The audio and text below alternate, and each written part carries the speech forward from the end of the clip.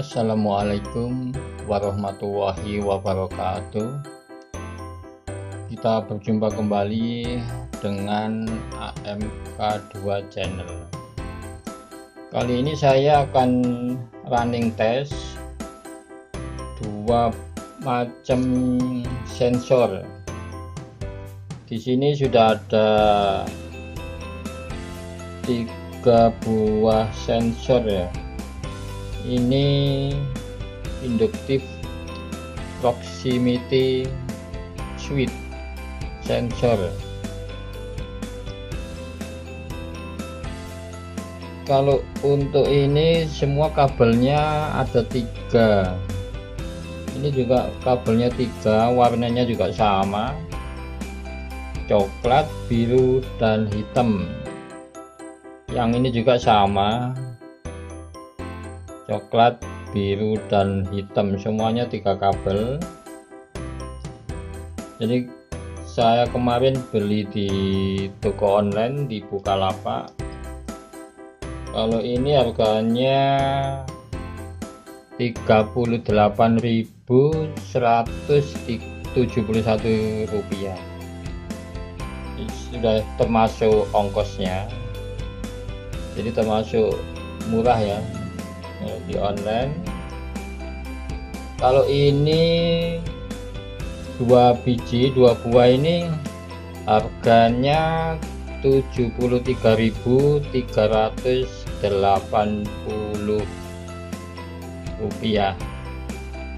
Udah jadi sudah termasuk ongkosnya juga. Dua buah 73.380 rupiah kalau yang ini kuning ini udah pernah saya tes.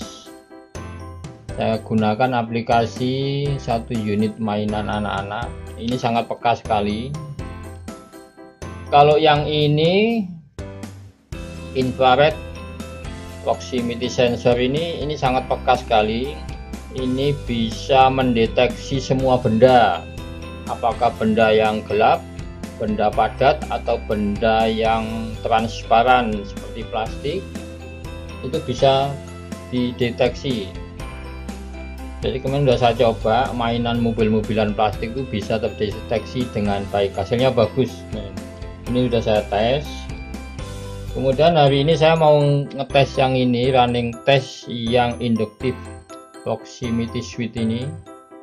Ini khusus untuk metal kalau benda plastik nggak bisa tidak bisa terdeteksi. Ini khusus metal ya logam. Khusus benda-benda logam yang bisa dideteksi.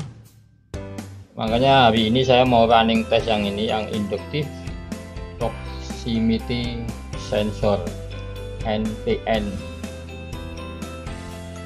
ini harganya murah 38.171 rupiah sudah termasuk ongkosnya. Hari ini akan saya tes saya menggunakan PLC Omron tipe CP1E dan HMI Omron. Akan saya coba nanti akan saya tampilkan nilainya di layar HMI dibantu satu buah relay 24 volt DC ini kabel-kabelnya udah saya sambung. Jadi saya tinggal ngetes saja udah saya sambung semua. Akan saya coba nanti saya tes dan nilainya akan saya tampilkan di layar HMI induktif proximity sensor. Ini khusus logam. Khusus benda-benda logam semuanya. Kalau plastik tidak bisa mendeteksi. Kalau yang ini ini semua benda bisa. Plastik besi dan semua benda padat transparan dan benda-benda yang gelap bisa semua. Ini sangat peka. Oke mari kita tes dulu yang ini. Akan saya tampilkan dulu HMI nya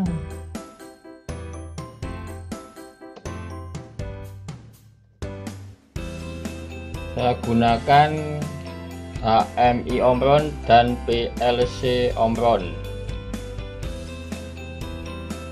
PLC tipe CP1E N20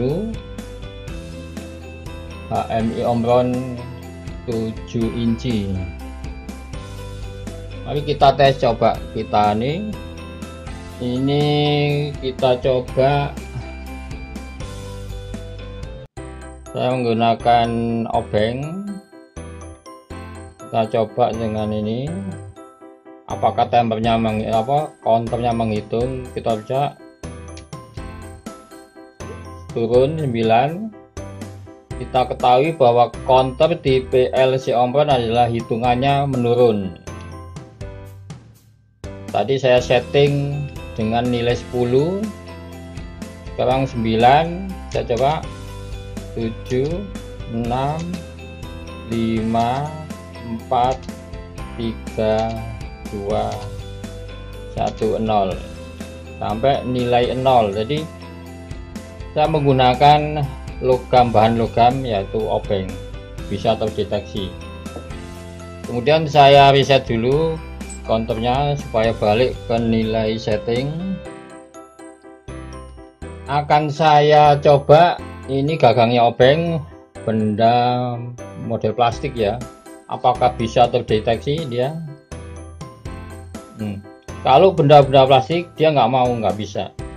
Ini. Jadi ini khusus untuk benda-benda logam yang bisa terdeteksi. Kalau benda plastik kayu kertas nggak bisa kalian. Nah kalau yang kuning ini semua benda. Ini bisa mendeteksi semua benda ini. Ini bagus ini. Sangat peka sekali. Kalau ini khusus logam. Mari kita tes lagi. Satu dua tiga turun. Nah nilai 7 sekarang. Saya tampilkan dengan menggunakan HMI Omron. Bisa kalau benda apa logam bisa.